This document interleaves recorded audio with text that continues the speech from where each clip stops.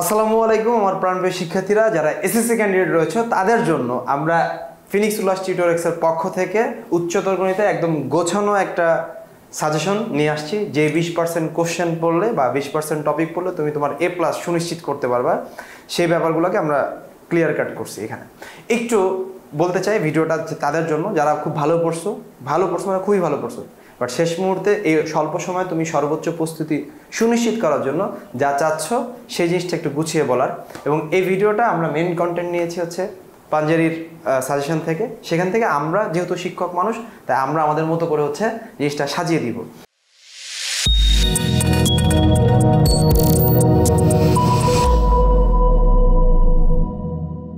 তো একটু যদি আমি দেখি যে সেই মেধাবীদের পাশাপাশি যারা হচ্ছে ফাঁকিবাজি করছি। দুই বছর ঠিকঠাক মতো পড়াশোনা করি নাই ঠিকঠাক মতো দিনের পর দিনে পড়ি নাই।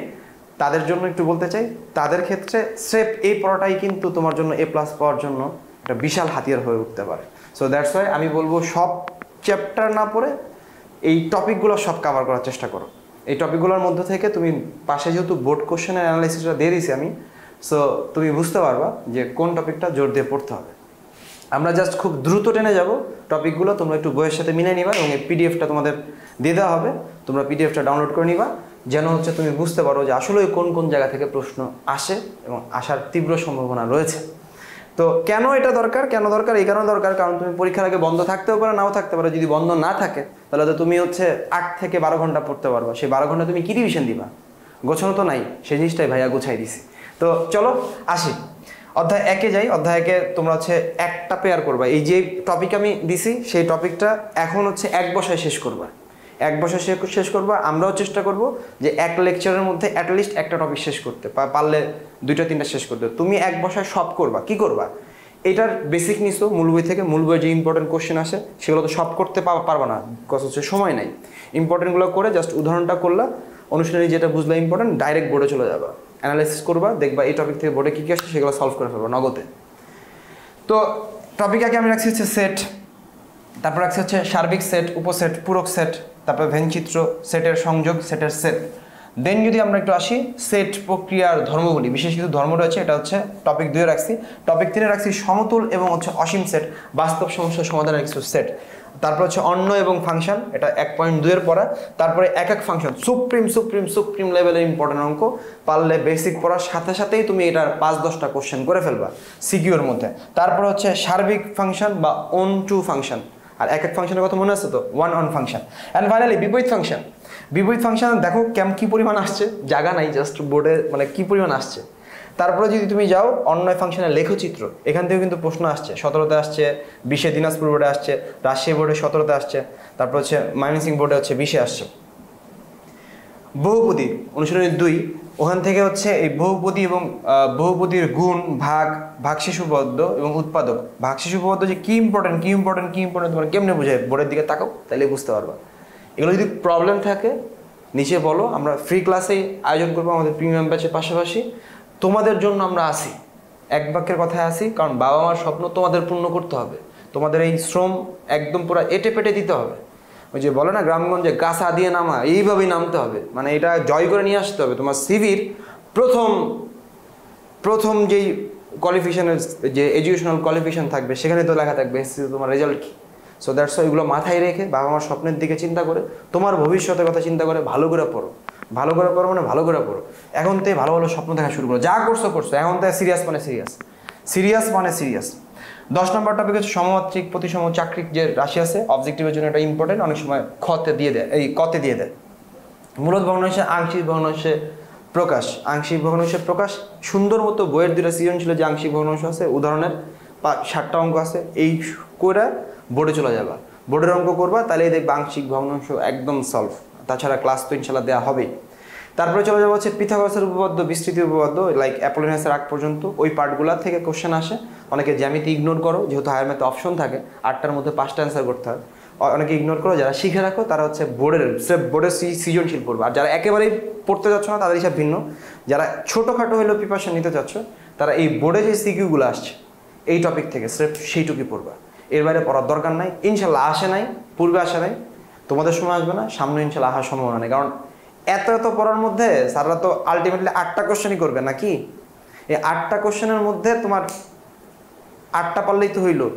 তো অনেক ইম্পর্টেন্ট টপিকের মধ্যে তখন দেখবা লেস ইম্পর্টেন্ট টপিক বাদ দিয়ে টিচাররা ইম্পর্টেন্ট টপিক থেকে কোশ্চেন করে। যে দেখে অ্যাটলিস্ট এই জায়গাটা মনে আছে কিনা? কারণ পুরো বইটা মাথায় নিয়ে পরীক্ষা হলে যাওয়া, এটা যাই তাই ব্যাপার না। যে যায়, সে বোঝে। যদিও আমরা এটা বিশ্বাস করি যে পরীক্ষার কোশ্চেন আসলে শুধু যে দেয় তার কাছেই কঠিন। বাকি সবার কাছে মনে হয় যে খুব সহজ কোশ্চেন আসছে। সো তোমরা পরীক্ষা দিবা, তোমরা অবশ্যই তোমাদের যোগ্য হয়ে যেতে হবে বাট তোমাদের ব্যাপারটা আমি বুঝি, কারণ আমিও তো এসএসসি পরীক্ষা দিয়ে আসছি। তারপরে টপিক থার্টিনে পড়ব হচ্ছে লম্ব বিক্ষেপ। লম্ব বিক্ষেপ থেকে কতে প্রশ্ন আসে, তোমরা বোর্ড অ্যানালাইসিস করলে দেখতে পাবা। কতিপয় কিছু গুরুত্বপূর্ণ উপপাদ্য রয়েছে, যেমন যে ভরকেন্দ্রের উপপাদ্যটা রয়েছে, ব্রহ্মগুপ্তর উপপাদ্য, অ্যাপোলিনাসের উপপাদ্য এই উপপাদ্যগুলো যে জাস্ট যে বললাম যে যারা এগুলো কম পড়ো স্রেপ স্রেপ স্রেপ বোর্ডের সিকিউ আর এর বাইরে পড়া লাগবে না মানে লাগবে না। আর উপপাদ্যগুলো তোমার যে যতই বুঝাই দিক না কেন, আমি একটা সিম্পল ট্রিক্স বলে দিই। তুমি ভাই যদি উপপাদ্য থেকে অ্যান্সার করতে চাও, তুমি তিনবার তিনবার করে যখনই বসবা তখনই লিখবে। এবং হায়ার ম্যাথ পরীক্ষার আগে প্রধানত বন্ধ থাকে। তখন তুমি অবশ্যই উপপাদ্যগুলো একটু লেখা যাবা, সম্পদগুলো একটু আইকা যাবা। তুমি যদি উপপাদ্যগুলো লেখা না যাও, তুমি পরীক্ষা হলে যায় কিন্তু মিলে আসতে পারবা না। যত মেধাবী হও না কেন তোমার এই ধরনের কনফিডেন্স থাকা ঠিক না। তুমি স্বীকার করে নিবা যে নাও মনে থাকতে পারে। এই চিন্তা হলেও কষ্ট হলেও লিখে প্র্যাকটিস করে তারপরে যেতে হবে। তারপরের কথা হচ্ছে ত্রিভুজ এবং বৃত্ত সংক্রান্ত যে কিছু আছে বোর্ড স্রেফ বোর্ড আর কিছু না। তারপর ত্রিভুজ সংক্রান্ত যে ইয়ে, সম্পাদ্যগুলো তোমাদের ছিল সম্পাদ্য ত্রিভুজ সংক্রান্ত যে সম্পাদ্য এক থেকে চার এবং হচ্ছে চার নম্বর অধ্যায়ের যে অনুশীলনীর যে ত্রিভুজ সংক্রান্ত সম্পদ রয়েছে জাস্ট চারটা সম্পদ বললে কিন্তু এটা শেষ। বোর্ডে যেগুলো আসছে, সেগুলোর দিকে ফোকাস দাও, তাইলেই চলবে। এত পড়ার কোনো দরকার নাই। বৃত্ত সংক্রান্ত সম্পাদ্য, বৃত্ত সংক্রান্ত সম্পাদ্য পাঁচটা। ওই পাঁচটা ভালো করে শিখো, তিনবার তিনবার করে আঁকো। আঁকার সময় হচ্ছে একটু বারবার পড়ার চেষ্টা করো, যে আসলে এইভাবে বুঝাই লিখব, মুখস্থ না করে জাস্ট আঁকাটা শিখো। কোশ্চেনটা মাথায় রাখার চেষ্টা করো। একটু চোখ বন্ধ করে দেখো, মনে আছে কিনা? না মনে থাকলে আবার তিনবার আঁকো। Perfect practice makes man perfect Bruce Lee একটা কথা বলতো, আমি তারে ভয় পাই না, যে এক হাজার এক হাজার টাইপের লাথি মারতে পারে। আমি তারে ভয় পাই যে একটা লাথি এক হাজার বার প্র্যাকটিস করছে। তোমাদের তো আর ওরকম দরকার নাই যে, না, শুধু একটা টপিকই পড়ব তুমি যেটা প্র্যাকটিস করবে পারফেক্টভাবে প্র্যাকটিস করবে। হ্যাঁ ভাই, আমি সাতানব্বই অ্যান্সার করছি বাট আমি সাতানব্বই পাইছি। হ্যাঁ আমি বারো বারো বিরানব্বই অ্যান্সার করছি, বিরানব্বই পাইছি। এরকমভাবে যাওয়ার কোনো দরকার নাই যে, আমি একশো অ্যান্সার করছি, চল্লিশের উপর পাবো না। যাওয়ার দরকারই নেই। So that's I perfect perfect preparation নাও তাছাড়া আমরা লাস্টের দিকে একটা সাজেশন দিব। বলে দিই আমি, বইয়ের যে কটা সৃজনশীল আছে না, ওগুলো যদি কেউ নোট করে রাখা দাও, সুন্দর মতো দেখবা ওই বইয়ের সৃজনশীল থেকে হায়ার ম্যাথে অ্যাটলিস্ট তুমি তিন থেকে পাঁচটা সৃজনশীল কমন পাবা। কেন কমন পাওয়া যায়? কারণ বাংলাদেশের তো আমরা ডিজিটাল বাংলাদেশ হয়েছি, কারণ এখনও আমাদের যে টিচার্স কাঠামো রয়েছে, অনেক সীমাবদ্ধতা আমাদের রয়েছে। বাংলাদেশের জন্ম তো খুব বেশি দিন হয় নাই। সেভেন্টি ওয়ানে জন্ম আমাদের দেশের। সো দ্যাটস হচ্ছে অনেক সীমাবদ্ধতা আমাদের রয়েছে। অনেক প্রতিকূলতার মধ্য দিয়ে এই দেশ গিয়েছে। সো ওই ওই ছেলেমেয়েগুলো তো সায়েন্স পড়ে, তাদেরকেও তো পারাইতে হয়। তো বোর্ডের এরকম একটা টার্গেট থাকে। সেই টার্গেট থেকে হায়ার ম্যাথ কোশ্চেন সহজই হয়, তুলনামূলক জেনারেল ম্যাথ থেকে। তার মানে আবার পড়া ছেড়ে দেখুন আর কি। তারপর যদি আমরা একটু যাই যে পাঁচ নম্বর অধ্যায়। পাঁচ নম্বর অধ্যায় থেকে পাঁচ পয়েন্ট একের মূলের প্রকৃতি, মূলের চিহ্ন, সমীকরণ, দ্বিঘাত সমীকরণ এগুলো জাস্ট পড়ব। বইয়ের সৃজনশীল, বোর্ড সৃজনশীল, এর বাইরে আর পড়ার দরকার নেই। বেসিকটাকে শিখবা, বইয়ের সৃজনশীল শিখবা, প্রত্যেকটা বেসিকের একটা করে উদাহরণ করবা, আর হচ্ছে বোর্ডের সৃজনশীল। পাঁচ নম্বর অধ্যায় থেকে এর বাইরে কোনো পড়া নাই, এই টপিকের বাইরে। এবার আসো অসমতা। অসমতা, এটা হচ্ছে চ্যাপ্টার সেভেন হবে। এটা ভুল আসছে। তোমরা যখন পিডিএফটা পাবা, সেটা একটু ঠিক করে নিও। এটা হচ্ছে চ্যাপ্টার সেভেন হবে। অসমতার যে ধারণা, অসমতার যে ব্যবহার, সেই অসমতার ব্যবহারগুলো না না সরি এটা ছয় ছয় ছয়। অসমতা ছয়ই আছে হ্যাঁ। অসমতার যে ধারণা অসমতার ব্যবহার, এখানেও আমি বলে দিই বেসিকটা নিবা। বেসিকটা নেওয়ার পর বইয়ের সৃজনশীলগুলো করবা, বইয়ের এমসিকিউগুলো করবা, বোর্ডের এমসিকিউ বোর্ডের সিকিউ তার বাইরে আর কোনো দরকারই নেই। তার বাইরে আর কোনো দরকারই নেই। সপ্তম অধ্যায় সপ্তম অধ্যায় যদি আসো, ধারা, ধারার জন্য একদম বিখ্যাত একটা এমসিকিউ হচ্ছে অনুক্রম। প্রতি বছরই আসে। অনুক্রমগুলো যেগুলো বোর্ডে আসছে এবং উদাহরণে যেগুলো দেওয়া আছে, বইয়ের এমসিকিউতে যেগুলো দেওয়া আছে। এইটুকু আর পুরো না, বইয়ের সবগুলো অঙ্ক করে এখন কাভার দিতে পারবা না, কারণ তোমার তো আদার সাবজেক্টেরও পড়া আছে। সো যেই সাবজেক্টে সহজেই একশো উঠে যাবে, সেই সাবজেক্টে এখন গুরুত্ব কম দেওয়াটাই আমি মনে করি বুদ্ধিমানের কাজ। কারণ বাংলা সমাজ ধর্ম এগুলো পড়া হয় না সায়েন্সের ছাত্রদের। সেগুলো থেকে নজর দিও, কারণ যদি দেখো যে এক মাস দুই মাসের জন্য বাউবিতে বাংলাদেশ ও বিশ্ব পরিচয়, কিংবা বাংলাতে আল্লাহ না করুক, আল্লাহ না করুক, তোমার এই প্লাস ছুটে গিয়েছে বাট তুমি গোল্ডেন পাওয়ার মতো একজন স্টুডেন্ট ছিলা, এটা কিন্তু খুব প্যাথেটিক হবে। সো দ্যাটস ওয়াই আল্লাহ না করুক, আমি আবারও বলতেছি বাট তোমার সাবধান থাকা ভালো। অনেক রেতে এই কথা বললে আবার অনেকে ভয় পায়। বা আমি ঝড় আসতেছে, এটা আমি বলতেছি। তুমি ঝড়ের ভয়তে হাত পা কাঁপাকাপি না করে ব্যবস্থা নিতে শিখো যে আমি এই ধরনের ঝড় আসলে কী করতে পারি। কী করণীয় আমার? সো অনুক্রমের পরে তুমি যাবে হচ্ছে বিশ্ববিখ্যাত অসীম ধারা, যে অসীমিত সমষ্টি থাকবে নাকি থাকবে না, তোমার বইয়ের যে উদাহরণ চার চার নম্বর যে সৃজনশীল রয়েছে এবং বোর্ডের যে সৃজনশীল রয়েছে, দেখবা যে ঘুরে ফিরে ওই একই অঙ্ক আসছে। স্রেপ স্রেপ স্রেপ স্রেপ আমার কর্ডিয়াল রিকোয়েস্ট থাকবে।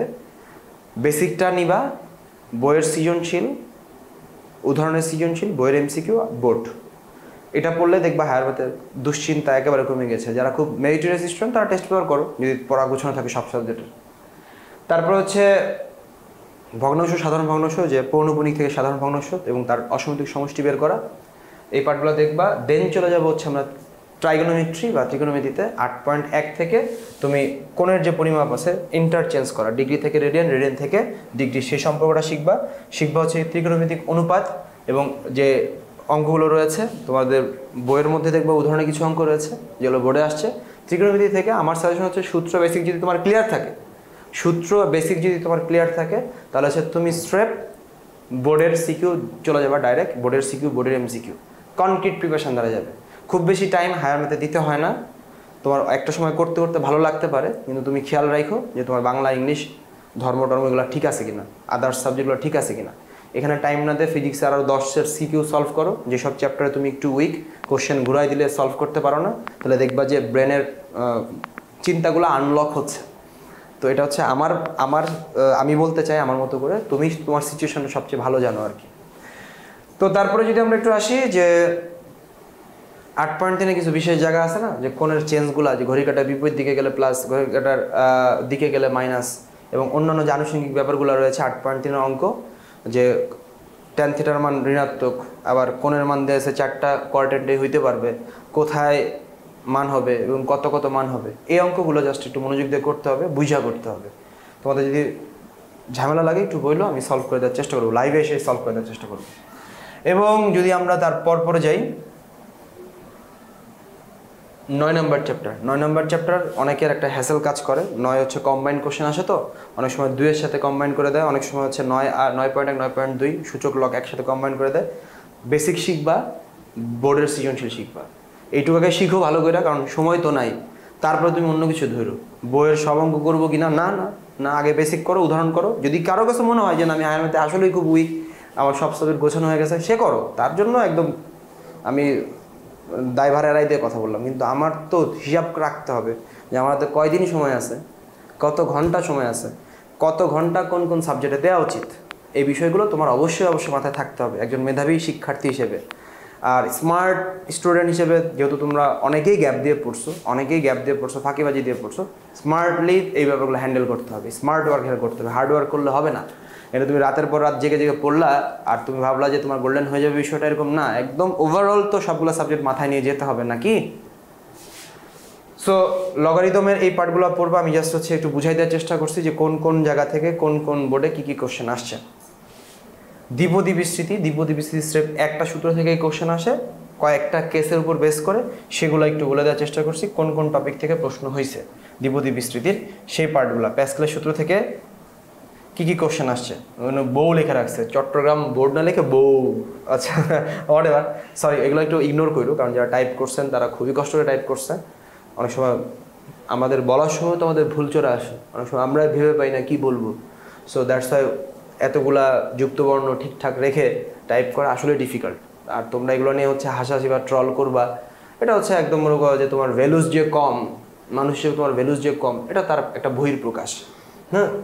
তো আমরা যদি এগারো নম্বর চ্যাপ্টারে ঢুকি, এগারো নম্বর চ্যাপ্টার যত স্মার্টলি পড়া যায়, সেটা আমার কাছে যেটা মনে হয় টপিকগুলো তো আমি বলছি, মধ্যবর্তী দূরত্ব থেকে কী কোশ্চেন আসছে, কার্তিক স্থানাঙ্ক ব্যবস্থা থেকে কত সালে কোশ্চেন আসছে। তো এই পার্টগুলো যদি আমরা একটু দেখি, ত্রিভুজের ক্ষেত্রফল থেকে, তো চতুর্ভুজের ক্ষেত্রফল থেকে, সরলরেখার ঢাল নির্ণয় supreme supreme supreme important topic দেখো বোর্ডে কী পরিমাণ আসছে। সরলরেখার সমীকরণ, সরলরেখার লেখচিত্র স্থাপন এই পার্টগুলো থেকে হচ্ছে সরলরেখাটা পড়া উচিত। তো সরলরেখার ক্ষেত্রে আমার সাজেশন হচ্ছে একদম এগারো পয়েন্ট এক থেকে এগারো পয়েন্ট চার পর্যন্ত। যতগুলো বেসিক আছে, তুমি গাইড বইতে দেখবা যে এক সুন্দর করে গোছায় দেওয়া আছে। তুমি ওখান চাইলে সুন্দর করে লিখে নিতে পারো। ক্লাসে নোট করে রাখতে পারো। সে আশা করি তোমাদের কাছে নোট রয়েছে। না থাকলে নোট করবা। করে হচ্ছে যেটা রিকোয়েস্ট থাকবে তোমার কাছে আমার, সেটা হচ্ছে ওই বেসিকগুলোকে বারবার বারবার করে শিখবা। তারপর হচ্ছে এমসিকিউ সলভ করবা বোর্ডের এমসিকিউ তারপর হচ্ছে বোর্ডের সিকিউ পারলে মূল বই যদি পড়তে চাও, শুধু মূল বইয়ের হচ্ছে উদাহরণগুলো করবা। তাহলে দেখবা বেসিকগুলো মাথায় গেঁথে যাবে। আর অবশ্যই ভালো যে একটা বেসিক থেকে তুমি বিশটা, পঁচিশটা, তিরিশটা অঙ্ক করলা, করলে অবশ্যই ভালো, বাট সময়টা কই? সময়টা তো নাই। সো দ্যাটস ওয়াই হচ্ছে এইভাবে নিজেকে একটু একটু একটু গুছায় পড়ো। ভেক্টর ভেক্টর থেকে তুমি কোথা কোথা থেকে কী কী প্রশ্ন আসছে এটা তো আমি উল্লেখ করে দিছি আমি যদি আমার মতো করে একটু বলি ভেক্টর থেকে তোমাদের বইয়ে যে দুইটা সৃজনশীল আছে আর বোর্ডে যে সৃজনশীলগুলো আছে। এটা পড়বা, পাঁচটা বেসিক শিখবা। পাঁচটা বেসিক শিখতে পারলে ভেক্টর তোমার জন্য পানি হয়ে যাবে, আমি কথা দিচ্ছি, দায়িত্ব নিয়ে কথা দিচ্ছি ইনশাল্লাহ তারপরে হচ্ছে অবস্থান ভেক্টরটা থেকে কোশ্চেন আসে, অবস্থান ভেক্টরটার দিকে খেয়াল রাখবা। ঘনজ্যামিতি, ঘনজ্যামিতির প্রথম একদম ফার্স্ট ফার্স্ট কাজ হচ্ছে ফার্স্ট কাজ হচ্ছে তুমি একদম সুন্দর মতো করে সব সূত্রগুলো একদম ব্যাখ্যা সহ শিখবা, চিত্র সহ শিখবা যে সূত্রগুলো আমি বুঝি কিনা।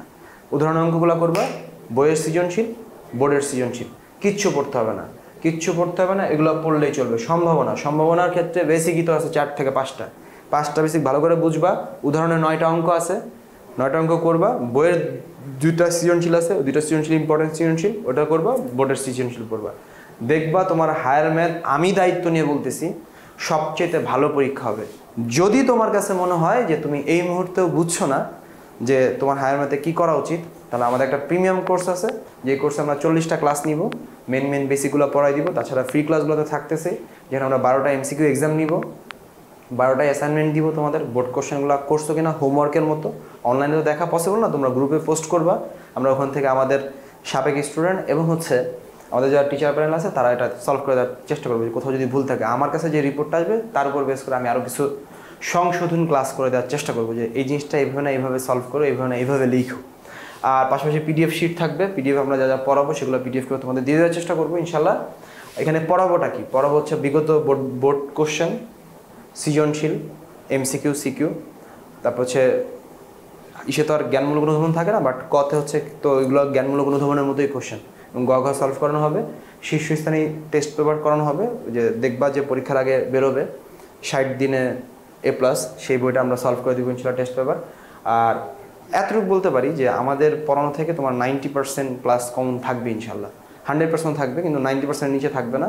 যদি এমন হয় নাইনটি পার্সেন্ট নিচে কমন পড়ছে, তাহলে তোমরা আমাদের সাথে সাথে যেখানে যে নাম্বারে টাকা পাঠাইছো সেটা বলবা, আমরা রিফান্ড পলিসি হচ্ছে আমরা টাকা তোমাকে আবার রিফান্ড করে দিব।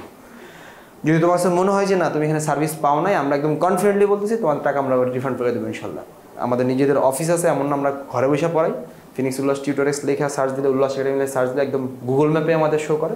তুমি এটা তোমাকে, যদি মনে হয় যে না, এই কোর্সটা করে আমার সাফিসিয়েন্ট কোনো কাজ হয় নাই, আমি এগুলো আগেই পারতাম বা কোনো লাভই হয় নাই, কোনো প্রেশারই আমি পাই না আমার পড়াটা গোছায় নাই, আমরা রিফান্ড করে দিব।